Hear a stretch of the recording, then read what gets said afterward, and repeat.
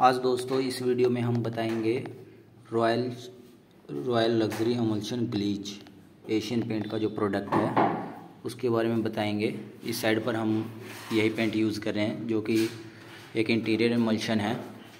देखिए, ये दोस्तों, पहले यहाँ पर एप्को लाइट हुआ था एशियन पेंट का इंटीरियर एमल्शन जो एक मैट फिनिश होता है। ये लग्जरी एमल्शन है, ये इसमें चमक होता है। तो जो हम, जो पुरानी दीवार थी उसको हमने, देखो दोस्तों, ये लिक्विड पुट्टी करें कैरलिक पुट्टी बोलते हैं, जो कि जो इसमें जो दीवारों में ब्रिक ब्रिक छेद होती हैं, ये देखिए दिख रही होगी आपको, ये देखो। ये ऐसे जो बेस होता है, इसको बढ़िया बनाना होता है, क्योंकि जो लग्जरी मल्शन होता है, उसमें जितने छोटे छोटे ब्रीक ब्रीक छेद होते हैं या कुछ भी होता है, वो सारा उभर के दिखने लगता है और फिनिशिंग अच्छी नहीं आती है। इसलिए दोस्तों, देखो, हम पूरी दीवार पर लिक्विड पुट्टी कर रहे हैं।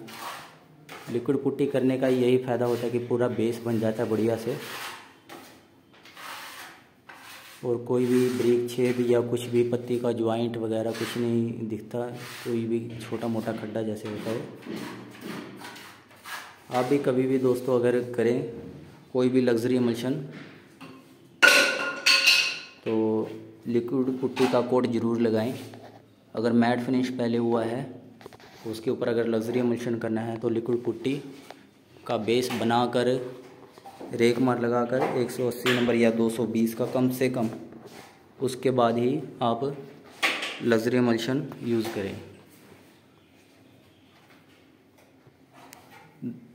धन्यवाद दोस्तों।